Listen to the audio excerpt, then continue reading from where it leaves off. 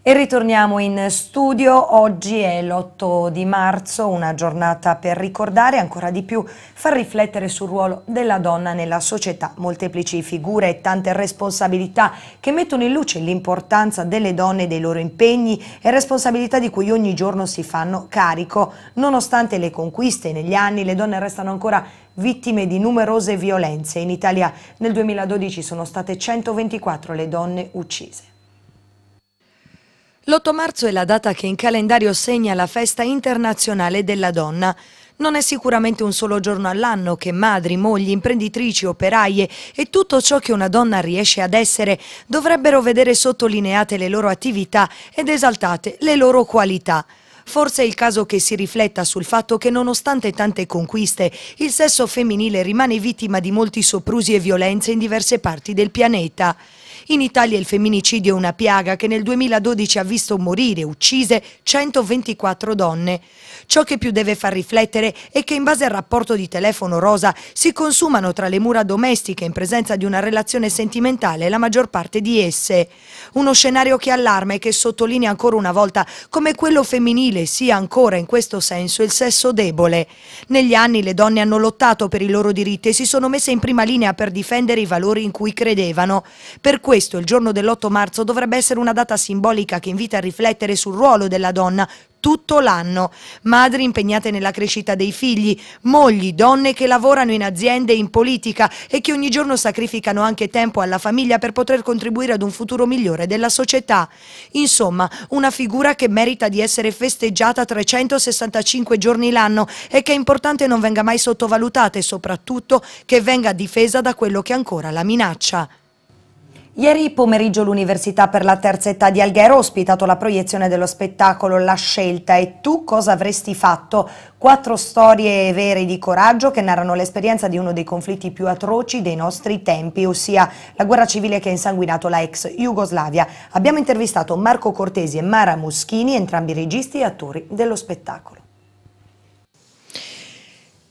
Siamo in compagnia di Marco Cortesi e Mara Moschini, sono entrambi registi e attori dello spettacolo La Scelta. Chiedo proprio a te Marco, ehm, che cosa tratta questo spettacolo?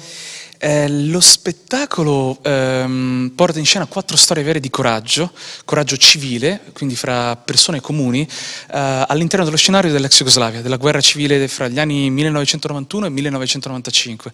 Nello spettacolo, alternando le nostre voci mia e di Mara, noi raccontiamo, portiamo in scena quattro storie effettivamente raccolte con un piccolo registratore sui campi di battaglia.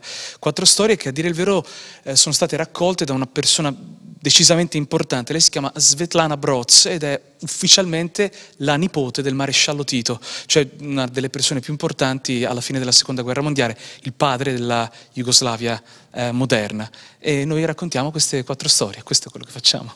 E allora io chiedo a Mara Moschini perché portate questo spettacolo in giro per l'Italia? Eh, come raccontava Marco, sono quattro storie di coraggio civile, sono persone che hanno fatto una scelta. E questa scelta ha cambiato il destino di altre persone che potevano eh, rischiavano in quel momento la vita che invece vengono salvate.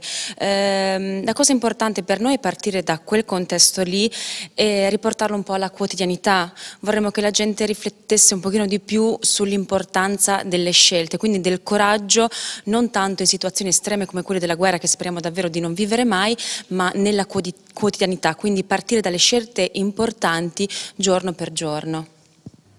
È stata davvero apprezzata da studenti e visitatori dell'Istituto Tecnico ROT l'esperimento denominato Un giardino a scuola.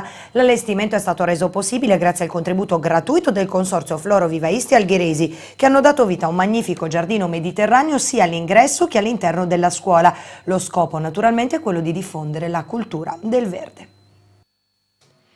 Si è concluso nel migliore dei modi l'esperimento dell'Istituto di Istruzione Superiore ROT per diffondere la cultura del verde all'interno del sistema urbano. Infatti, grazie al contributo gratuito del Consorzio Floro Vivaisti Algheresi, costituito da un gruppo di esperti vivaisti e paesaggisti, la cui bravura la cittadinanza aveva avuto modo di apprezzare nella realizzazione degli addobbi natalizi, è stato allestito un magnifico giardino mediterraneo, composto da vegetazione tipica della Sardegna, che ha abbellito sia il viale d'ingresso della scuola che l'interno della stessa. Tutta la componente scolastica ha vissuto con orgoglio il progetto che ha coniugato educazione, attenzione per l'ambiente e partecipazione civica e va anche rimarcato il rispetto che gli alunni hanno manifestato verso le composizioni floreali, unitamente al plauso di numerosi visitatori. Viene così confermato che l'educazione all'ambiente e alla natura può avere un contributo importante dalla scuola e ci si augura che tali iniziative siano la premessa per la riqualificazione delle aree verdi antistanti i caseggiati scolastici, ma anche all'interno degli stessi, trasformandoli in ambienti dove il verde contribuisce a creare un ambiente piacevole, sereno, gradevole che aiuta ad apprendere meglio. Dal verde allo sport, domani alle 19 al Palacorbie in programma il confronto tra Mercede Basket Alghero e il Val Madrera. Le biancoazzurre, già certe di partecipare ai playoff, cercheranno la vittoria contro l'undicesima della classe. Domani sabato 9 marzo alle 19 il Pala Corbia sarà teatro di Mercede Basket Alghero Sea Logistic System Starlight Val Madrera, match valido per la ventitresima giornata del girone nord del campionato di Serie 2 di pallacanestro femminile. Le algheresi, nonostante il 71-59 subito domenica sul parquet della Lops Arre di Sanga Milano, sono già certe di partecipare ai playoff, essendo seste a pari punti con la Delser Club Udine, con otto lunghezze di vantaggio sulla decima piazza, occupata dal basket San Salvatore Selargius, quando i punti ancora in palio sono solo sei. Almadrera riduce dal 39-44 interno subito per mano della Senna Vimar Jans Marghera e invece undicesima pari punti con la Virtus Cagliari e sarà quasi sicuramente protagonista dei play-out salvezza.